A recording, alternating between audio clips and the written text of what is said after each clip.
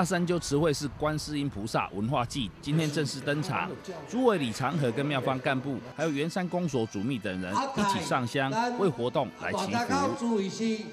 祈求这次阿举办咱阿文化节活动，爱当六工顺利平安，再拜阿祈求各善信大德。啊！大家合家平安，身体健康。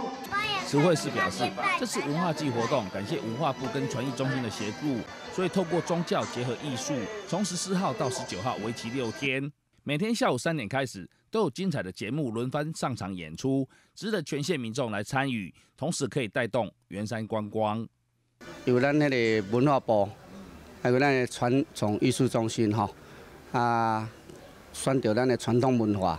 庙口看好戏，吼！伫咱大山口注意时来举办安尼，啊！伫遮吼邀请所有的先生大德，会当在即礼拜安尼六天十四甲十九吼，会当逐个拢来阮遮庙口看好戏。啊，阮三点甲五点吼，拢有迄个民俗表演，啊，电音三太子，啊嘛邀请阮所有乡内各中各小所有的团体，拢同齐来表演安尼，啊，希望所有的先生大德，吼，咱全国所有的。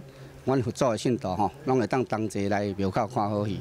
因为活动中还有一项趣味竞赛，就是博醒杯，凡是连续三个就能获得观世音加持玉佩，最多醒杯还有一万元的奖金。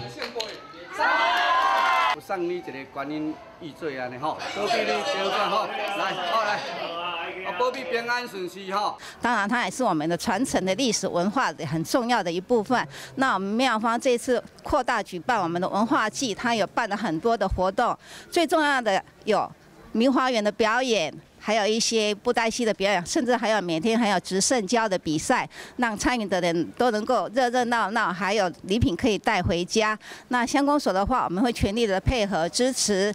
那希望我们的活动能够圆满成功。哎，圣杯，我来送一个翡翠玉坠。吼，啊那女一杯的人，我的第一名发财金一万块，第二名有五千块，第三名有三千块。啊，希望大家来共享盛举。华杯比赛每天下午四点开放报名，一天限额三百位，欢迎大家踊跃来挑战，拿玉佩拼奖金。宜兰新闻记者张丽玲采访报道。